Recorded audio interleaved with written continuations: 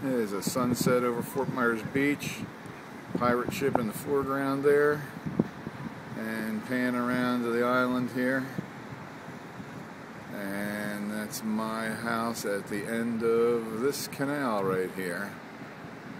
Third house on the third house from the end on the left there.